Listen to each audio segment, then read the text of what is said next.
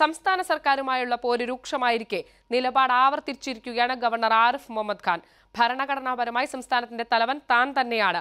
പൗരത്വ നിയമ ഭേദഗതിക്കെതിരെ സംസ്ഥാന സർക്കാർ സുപ്രീം കോടതിയെ സമീപിച്ചതിൽ തെറ്റില്ല. എന്നാൽ ഇക്കാര്യം തന്നെ അറിയിക്കണമായിരുന്നുവെന്നും governor തുറന്നടിച്ചു.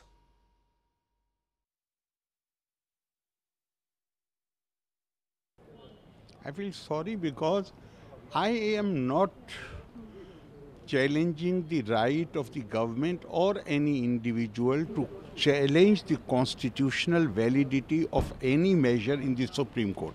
In fact, that is the right way of doing it.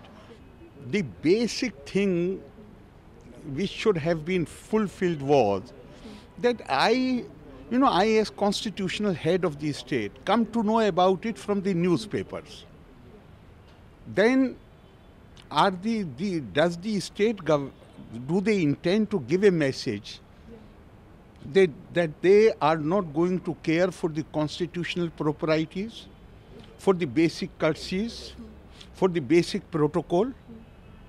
There i have the problem. Because if you are going to challenge the constitutional validity i'm not say i'm not sure whether some approval is needed or not.